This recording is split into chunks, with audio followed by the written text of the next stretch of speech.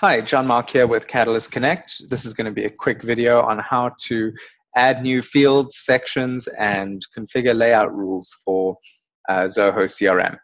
So getting started, once you are logged into Zoho CRM, you'll go to the top right and click on Setup. You'll then go through to the Customization section and click on Modules and Fields.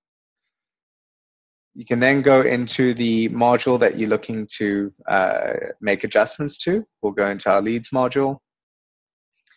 Now, within the leads module, or within any module, I should say, uh, you'll be able to see all the fields that are currently present in that module. Uh, keep in mind that you can organize your fields into different sections to allow for easy navigation on the actual uh, record itself. To add in a new section, you can simply go here to the left-hand side and click and drag over a new section.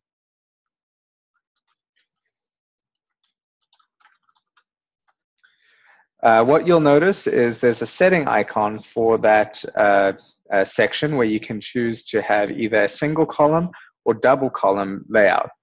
You can also choose how you'd like the tabbing feature to work, whether you want it to tab left to right before going top to bottom or vice versa. If you'd like to add new fields, you can simply click and drag a new field from the left-hand side over into that section. Name that field. And then if you click on the settings icon, you can click on edit properties. And this is going to be very important for adding fields that are going to be mapped over from the lead module to your account contact or opportunity. You're going to want to make sure that before you click Save Layout, you go into the settings for that particular field and you select the other modules that you want that field created for as well. This is going to save you a lot of time as it'll automatically create that field in the other modules and do the lead uh, conversion mapping for you. You can also specify whether you want that field required, the character limits, and if you want to allow duplicate values or not, or show a tooltip. The tooltip is uh, basically a little eye icon that'll show up on the field in the record itself that will give the user hints as to what that field is about. We'll go ahead and uh, uh, quickly save this field. I also want to show you once you've saved a field, uh, you have the ability to set the permission for that field. Uh, as you may have found out already, you can create uh, various profiles uh, for different users that give them access to uh, different modules. Now, you may want to give a user access to a particular module, but hide a certain field uh, from them. You can do that by uh, going into the field itself, clicking on set permission, and now you can choose by profile whether you want them uh, to be able to read or uh, read write or not see that field at all, even though they may have access to all the other fields on this particular record. So it gives you very granular control over uh, what users can see and do with uh, both modules and fields uh, within the system. The next thing I want to go over is layout rules. Layout rules can be a very effective way to streamline how information is organized and displayed uh, within a particular record. Uh, let's uh, go through a particular use case where you may have, uh, you may be a multi-product company where you need to uh, display certain fields for some products but not for others. In that case, um, let's go ahead and uh, create a drop down for our product one and product two.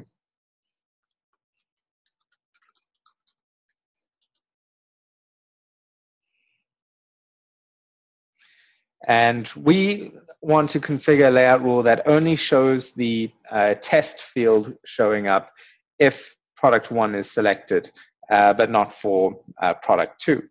So what we can do is click on settings, click create layout rule.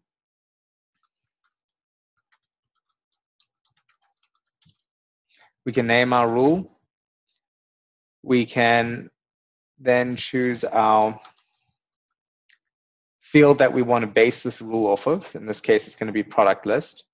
And we want to choose the condition that when option one is selected for our product list, we want to show certain fields. And in this case, we want to show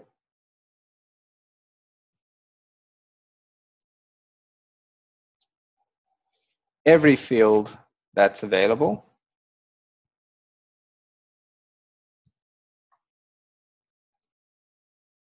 Oops.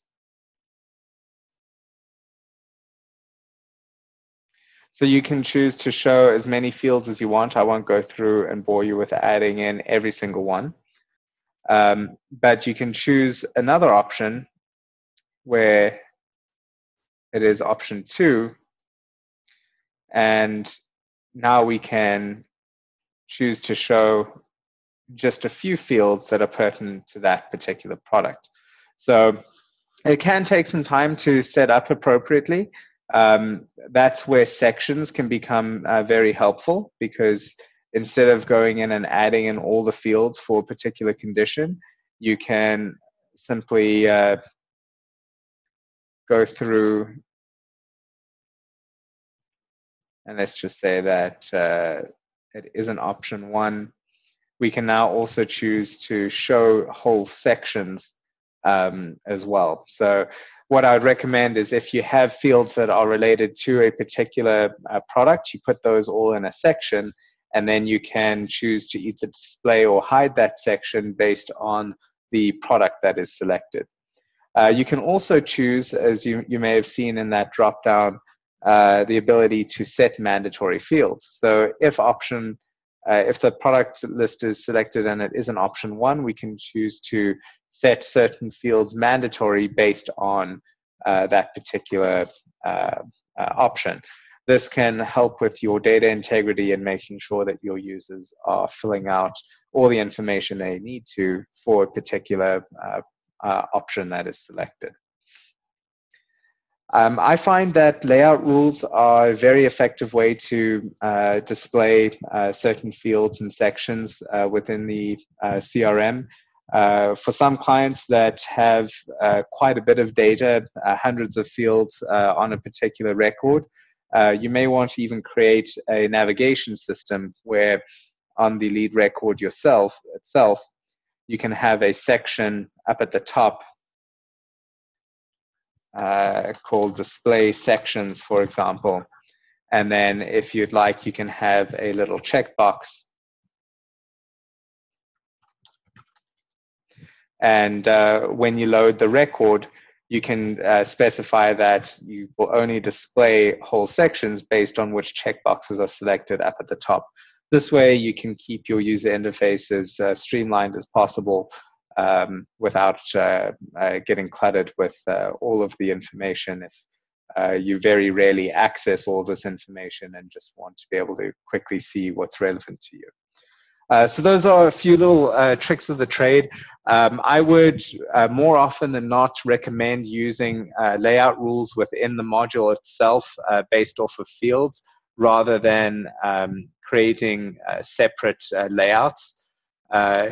If you notice, if you go back one screen to the module screen, under the settings for the module, you can create different layouts which are basically predefined uh, uh, sets of fields and sections uh, by product line, for instance. This can be very effective and an easy way to uh, configure different layouts for uh, different uh, product lines.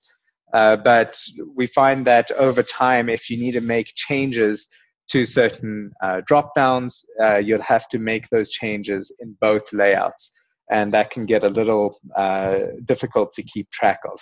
So more often than not, it's easier to just create the layout rules based on field types as opposed to loading an entire new, entirely new layout from uh, the outset.